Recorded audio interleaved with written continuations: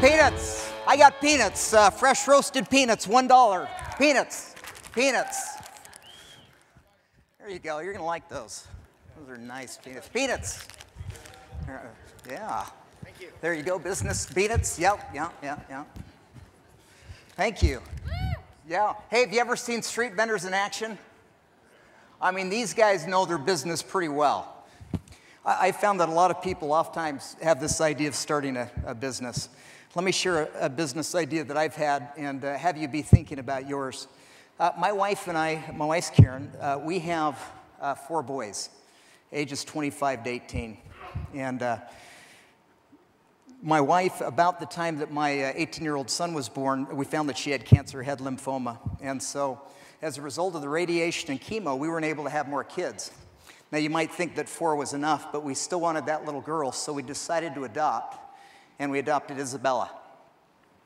Um, yeah, she, uh, she was actually, her birth parents were in uh, San Diego here.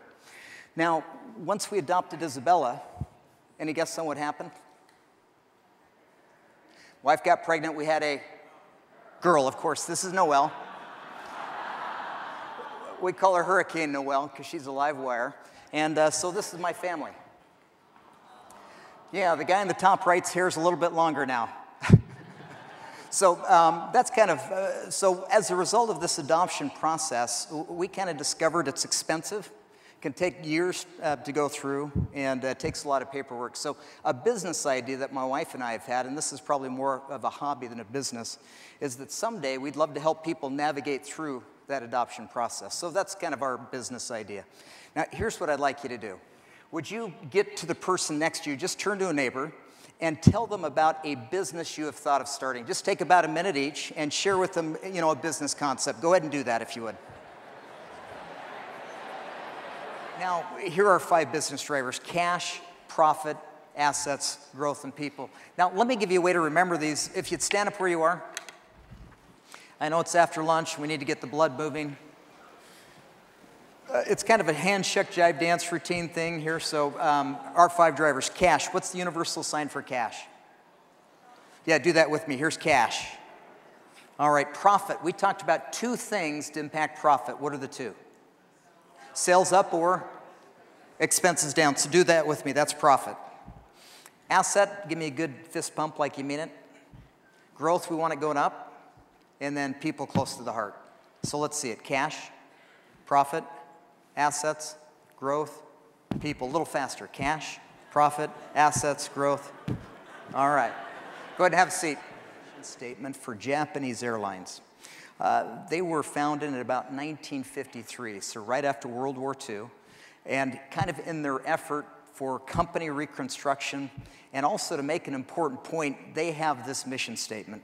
The, Jap- the Japan Airlines Group, as an overall airport transport enterprise, will act as a bridge to bring peoples, their cultures, their hearts closer together, and thus contribute to world peace and prosperity. Sounds pretty grandiose, doesn't it? I mean, as mission statements are. Um, but can they have somewhat of an impact on world peace? If you look at the way they're defining it, bringing people and cultures and hearts closer together, I think they can have a part in bringing about world peace. Here's the problem January 19th, 2010, Japanese Airlines files for bankruptcy. So here's my point about margin and mission. Even if you have a phenomenal mission, if you can't fund that mission, there will be a limit to how far you can go with your mission. At the end of the day, we're selling something unique. If you sell something unique, people will be willing to pay for it. They'll see value in it. Um, you know, for example, Coca-Cola, you might think, well, hey, it's just sugar water. Um, I've got a sister who, if she can't get Diet Coke at a restaurant, she'll just take water. Has no interest, and I see somebody nodding, has no interest in anything but Diet Coke. So she has real brand insistence for Coke. Apple, people will wait in lines for days to get the you know, new version of an Apple phone or an iPad or whatever the new gadget might be. So these companies are selling something unique. And if you're not unique, you better be cheap. So let's look at companies that have lower, pro lower profit margins. Um, the first one might surprise you. ExxonMobil, 8%.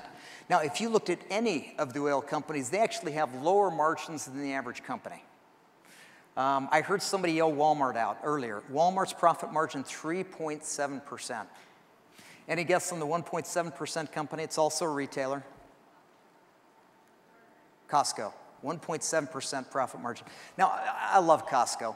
Um, I call them the $300 store. You can't go into Costco and get out without spending at least a few hundred bucks. You don't go in to buy a slice of pizza at the front because you'll see a case of batteries that you can't live without and something else. Now, now what's interesting with Costco is Costco really is a cost club. When you go buy something at Costco, they sell it to you for what it costs them to get it in the store. The only reason they make that 1.7% is the membership fee they charge you. So literally, you are paying for the right to go buy things at cost when you go to Costco. Now, um, why the low margins for these companies? Okay, they sell volume. They, they have to sell volume if they want to make any money. But why are their margins so thin? Are they selling something unique? They're selling commodities. So, commodity is something that's ubiquitous, that's universal out there. Uh, if you're going to buy a gallon of milk, you could get it at Walmart, you could get it at Target, you could get it at Costco, you could get it, you know, at Kroger's, Dan's. And so they're selling commodities, therefore it's not unique, it better be cheap. Now, uh, how do you, Cal, can you impact personally in your role, uh, impact profit? Let me give you a couple of ideas on this. One, anything you can do to sell more. We heard that last time. Guess what the second one is? Anything you can do to reduce expenses. Third, I would suggest that anything you can do to help employees understand how their daily decisions impact the financials of the organization. So help them with the final exam. So if, let me have you stand up if you would. How are you going to remember these uh, five business drivers? Uh, let, me, let me hear it and see it. So what are they? Cash, profit, assets, growth, and people. All right, thank you.